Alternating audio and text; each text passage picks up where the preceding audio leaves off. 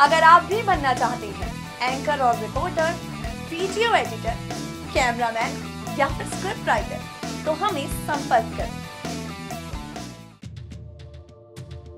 Congress Rajasthan committee के अध्यक्ष सचिन पायलट उदयपुर में पत्रकारों से बात करते हुए केंद्र सरकार पर जमकर निशाना साधा।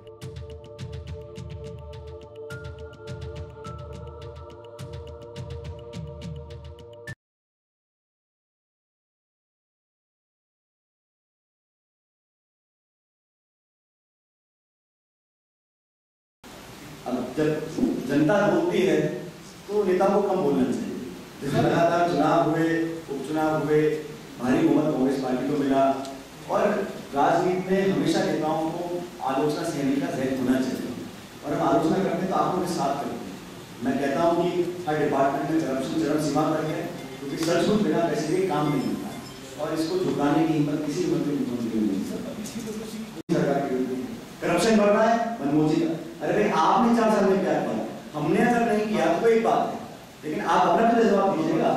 चार साल तक आज भी सिर्फ़ पिछली कांग्रेस सरकार को दोष देना कहाँ तक रहते हैं? सवाल पूछेंगे, आईना दिखाएँगे पब्लिक हमारे साथ है, चुनाव जीतेंगे और मान मर्यादा संविधान के तहत हम लोग शासन ये राजस्थान के सचिन पायलट राजस्थान की राजनीति में पूरी तरीके से सक्रिय हैं। अगर अभी भी चुनाव हो जाए तो कांग्रेस के पक्ष में वोट जा सकते हैं।